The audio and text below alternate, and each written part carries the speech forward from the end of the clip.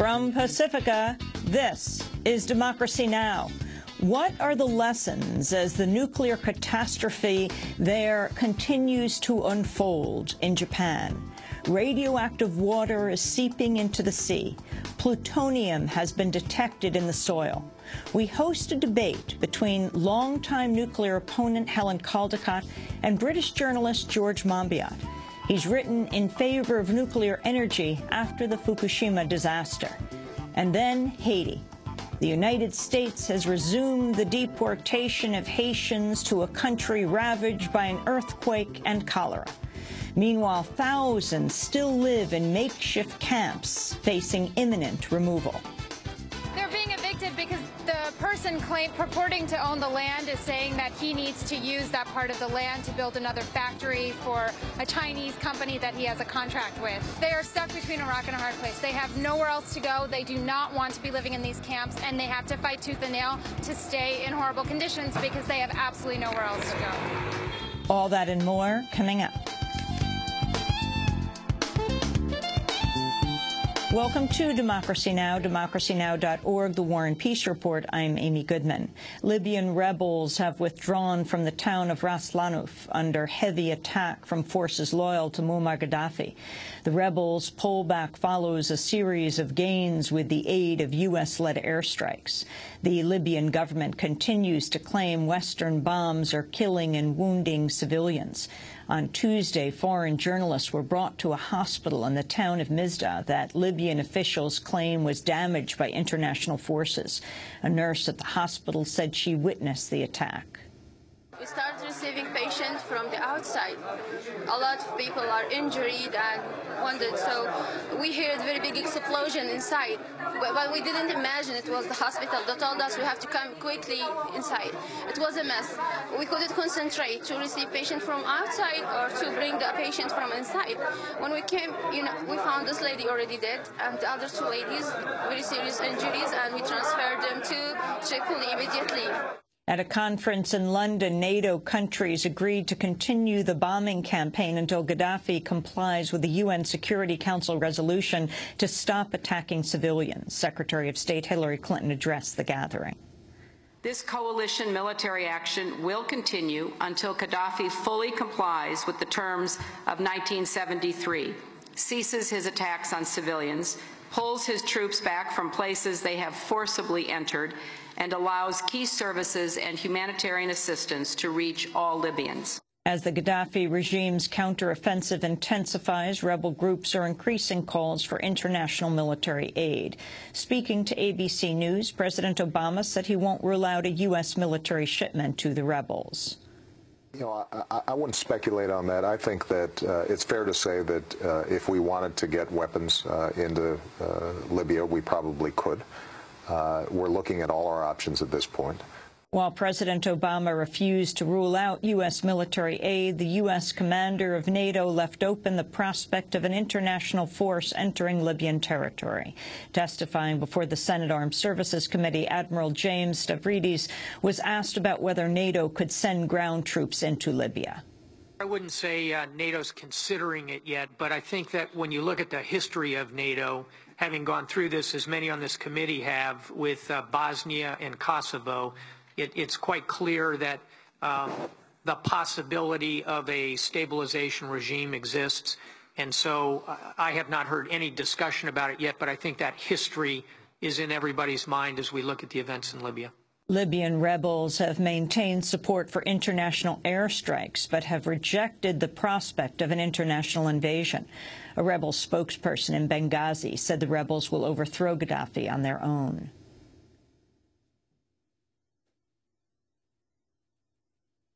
An alleged oh. victim of rape by Gaddafi's forces remains missing four days after she was arrested for telling her story to international journalists.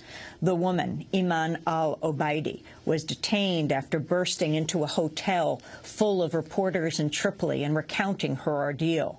She has not been seen since in public. Obaidi's mother said she was offered bribes to pressure her daughter to recant her accusations. Japan has announced plans to decommission four stricken reactors at the Fukushima nuclear plant. Emergency crews have failed to control reactors 1 to 4 since they were damaged in the earthquake and tsunami earlier this month. The announcement comes as seawater near the plant is showing the highest levels of radiation to date. Nuclear safety officials report seawater 300 yards outside contains over 3,000 times the legal limit for the amount of radioactive iodine. Radiation has also seeped into the soil, produce, raw milk, and even Tokyo's tap water, some 140 miles south of the facility. Meanwhile, the president of the plant's operator, Tokyo Electric Power Company, has been admitted to a hospital for hypertension after suffering from dizziness and high blood pressure. Syrian President Bashar al-Assad has accepted the resignation of his government following two weeks of protest. Over 60 people have been killed in a wave of rallies calling for political reform. Assad is addressing the protesters in a speech today. At least 53 people have been killed, another 95 wounded in an attack in Iraq's northern city of Tikrit. Gunmen dressed in police uniforms and suicide vests attacked a provincial office and went room to room, executing local politicians and government workers. U.S. forces were deployed to the scene and engaged in combat with the attackers. The dead included Saba Albazi, a 30-year-old freelance photojournalist who worked with the Reuters news agency.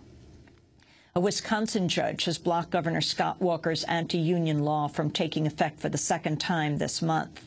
On Tuesday, Dane County Circuit Judge Maryann Sumi reissued a temporary restraining order blocking the bill's implementation.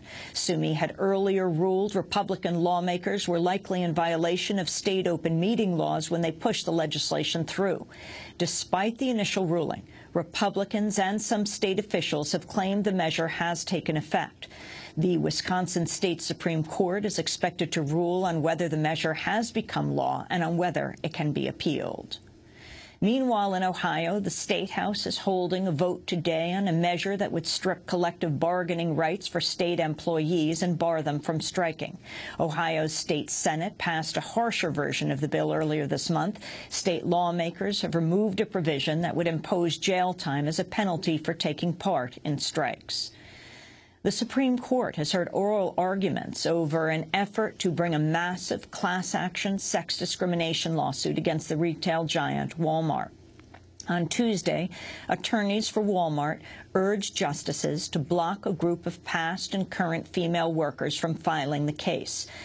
Plaintiffs and Walmart worker Betty Dukes said she had brought the suit on behalf of the company's women employees across the nation.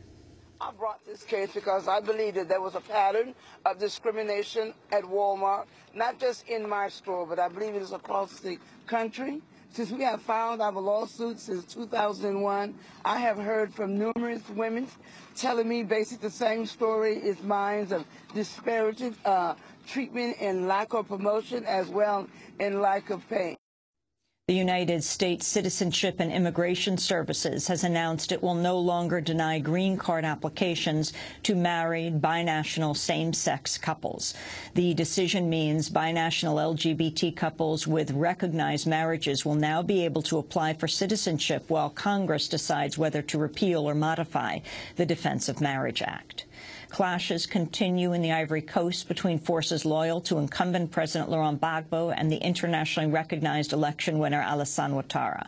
Anti-Gbagbo forces have captured a number of strategic towns the nation's eastern and western fronts. The United Nations, meanwhile, is accusing forces loyal to Gbagbo of killing a dozen people in the city of Abidjan Monday. Over one million people are said to have fled Abidjan since the conflict began. Melissa Fleming of the UN's High Commissioner for Refugees office said aid agencies are preparing for a flood of refugees to neighboring Ghana. We are um, bracing for significant arrivals in Ghana should the situation in Abidjan get worse. Um, it, there has been a, a, a jump. There are um, over 3,000 refugees who've come into Ghana so far, and also um, in countries like Togo, Burkina Faso, we are also preparing uh, for new arrivals. And federal investigators are reportedly reviewing whether managers for the oil giant BP could face manslaughter charges in connection with last year's Gulf oil spill disaster that left 11 people dead.